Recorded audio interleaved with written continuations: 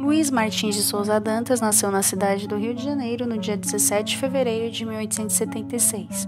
Após concluir os estudos de direito aos 21 anos, ingressou no Ministério das Relações Exteriores já no período republicano. Passou por todos os postos de carreira diplomática e serviu em diversas capitais do mundo.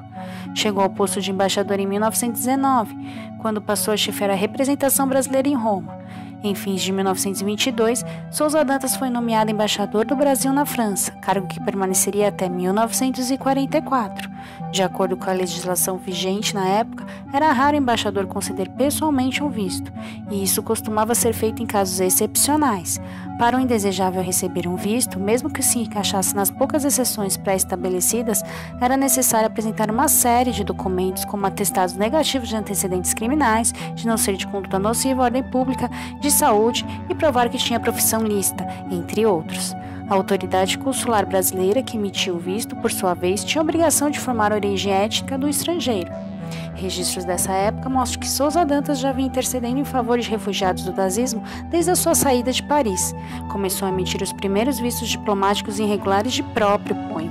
A maioria desses documentos beneficiava não apenas judeus, mas também homossexuais, comunistas e qualquer pessoa ameaçada pelo nazismo. Foram emitidos mais de mil documentos.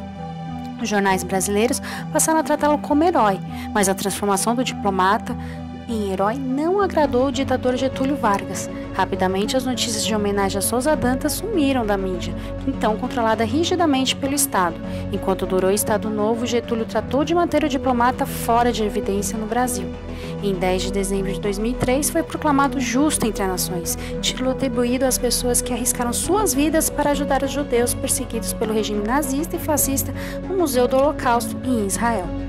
Aposentado, Souza Dantas foi convidado pelo Ministério das Relações Exteriores para chefiar a delegação brasileira na primeira Assembleia Geral das Nações Unidas em Londres. O embaixador foi o primeiro brasileiro a discursar nesse órgão percursor da ONU.